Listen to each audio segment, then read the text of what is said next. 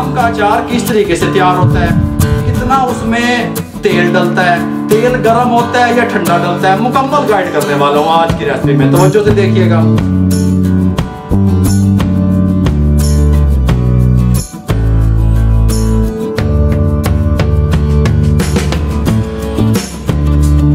अंदर मैं ये आम डालते हैं। इसमें में ये इसके अंदर डाल दें। साठ ग्राम एक किलो में जाएगा। डाल दिया। अब इसको अच्छे तरीके से मिक्स कर लें। शिकायत नहीं मैं।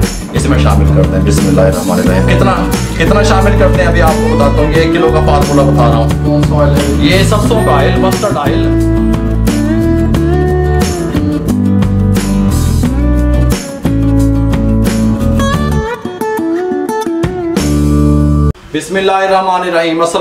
वेवर मैं हूँ शेफ रिजवान और आप देख रहे हैं बाबा फ़ूड आर आर से। लसूड़े का अचार किस तरीके से डलता है? सब्ज मर्च का अचार किस तरीके से डलता है? वो मैंने पहले आपको तरीका बताया मैं अपनी टीम से कहूँगा। उसका लिंक डिस्क्रिप्शन में भी देंगे और आई बटन में भी देंगे।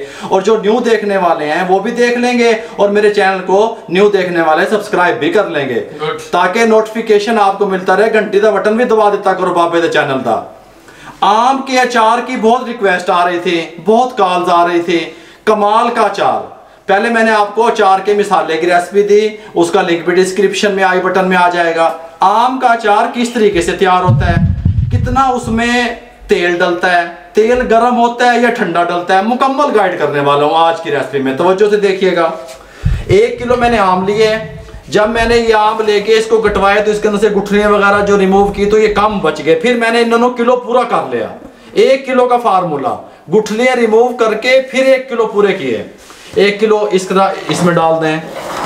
कोई मसला नहीं है। हाफ़ टेबल स्पून साल्ट नमक शामिल कर दें इस तरह। ये देखें हाफ़ टेबल स्पून से ज़्यादा हाँ। ये ये इस तरह देखें। इस तरह भरा हुआ टेबल स्पून हल्दी ये इसके ऊपर डाल दें इस तरीके से। डाल दिया आपने। अब आप इसको अच्छे तरीके से मिक्स कर दें, इस तरीके से। ये सब में लग जाए, इस तरीके से, अच्छे तरीके से मिक्स करने लगा हूँ। ये देखें। अब इसको मिक्स करने के बाद मैंने इस तरह की एक बारीक सुराखों वाली टोकरी ले ली। ठीक हो गया? अब मैंने इसको जार में नहीं रखना। ये बर्तन में नहीं रखना, बॉल में नहीं रखना। मैंने टोकरी में रखना है। टोकरी में मैं क्यों रखना है? अब मैं इसके ऊपर मलमल का कपड़ा दे के ऊपर छत पे धूप में रख के आ जाऊँगा आठ से दस घंटे के लिए। इसका जितना भी वाटर होगा जितनी भी इसके अंदर पानी होगा हाँ वो वो इसका रिमूव करना है हमने। मैंने आपको कई दफ़ा कहा अचार के अंदर पानी जहर का काम करता है। पानी हमने इसका हटाना है बिल्कुल। पहले मैंने इसको आम जब मैंने लिए इसको मैंने साबित को वाश किया।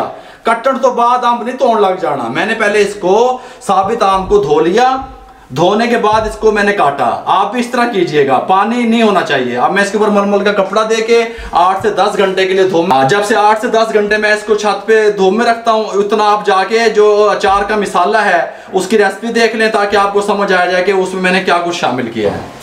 ये बिस्मिल्लाहिर्रहमानिर्रहीम 10 से 12 घंटे मैंने इनको धूप में रख दिया। धूप में रखने के बाद इनका जो हल्दी और नमक लगा के, इनका जो वाटर था, वो नीचे ड्रेन होता रहा और ये सॉफ्ट हो गए, ये देखें। ये टूट गए हाथ से भी टूट रहे हैं अभी सख्त नहीं रहे। इनका मकसद ये होता है इसको धूप में रखने का। अकड़ाव भी खत्म। अकड़ाव भी खत्म हो गया इसका। अब मैं आपको जो है ना दो चार मुझे कमेंट आए हुए थे पूछ रहे थे कि आप आयल जो है ना पका के डालते हैं या कच्चा डालते हैं?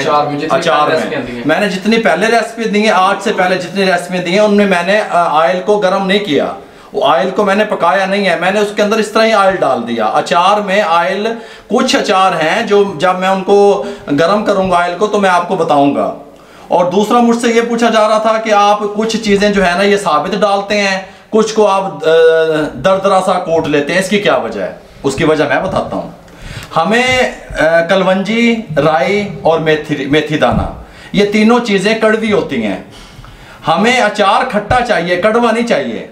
इसीलिए मैं जितना मुझे खट्टा चाहिए, उस हिसाब से मैं इसको जो है, वो ग्राइंड कर लेता हूँ। और अगर मैं सारे को ग्राइंड कर लूँ पाउडर फॉर्म में मैं डालूँ तो हमारा अचार कड़वा हो जाएगा। हमें अचार कड़वे की तरफ़ लेके नहीं जाना, खट्टे की तरफ़ लेके जाना है।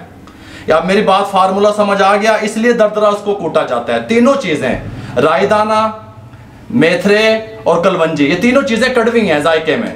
अगर आप इनका, इनको सबको जो है ना ग्राइंड करके या मोटा दरदरा डालेंगे तो आपका अचार कड़वे की तरफ़ चला जाएगा। हमने कड़वे की तरफ़ लेकर नहीं जाना। हमने खट्टे की तरफ़ लेके जाना। है जितना मुझे खट्टा चाहिए होता है, उतना मैंने इसको दरदरा पीस लिया, बकाया साबित डाल दिया।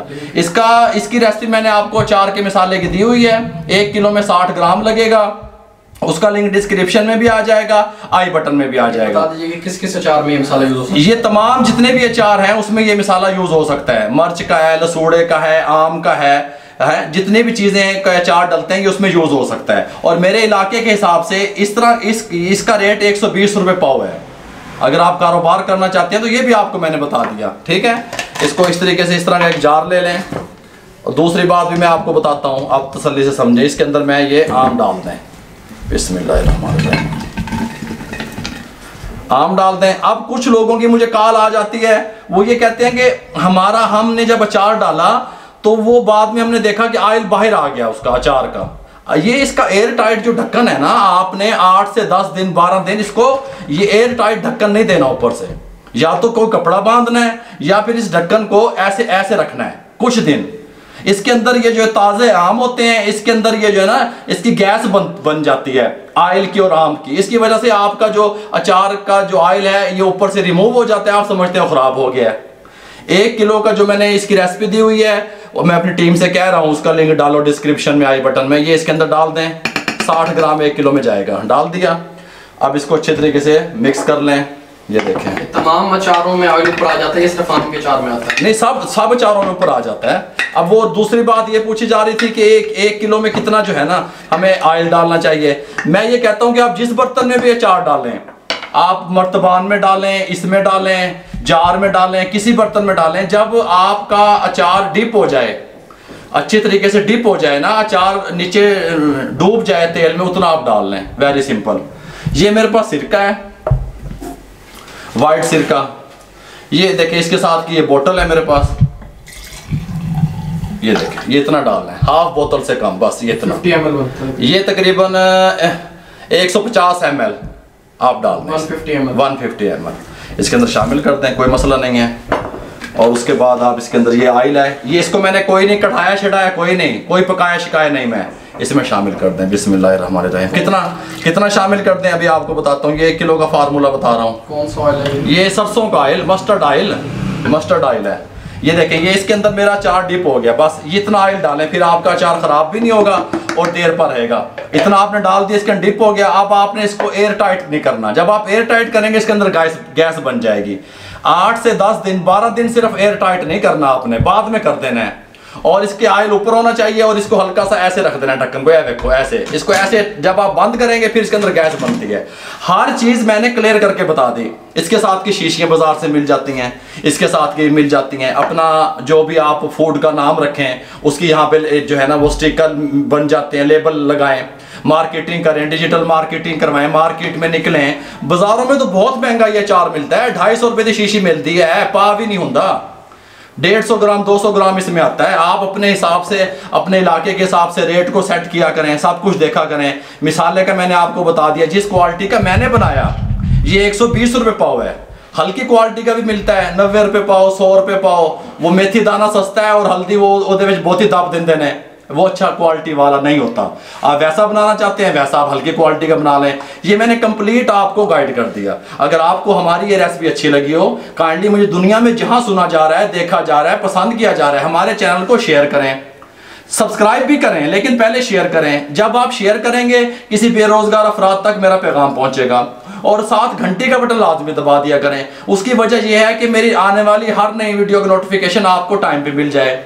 फेसबुक पे हमारा पेज है, उसको लाइक किया करें इंस्टाग्राम पे हमें फॉलो किया करें, दुआओं में याद रखा करें, मुझे और मेरी टीम को इजाज़त दीजिए, अल्लाह हाफिज़।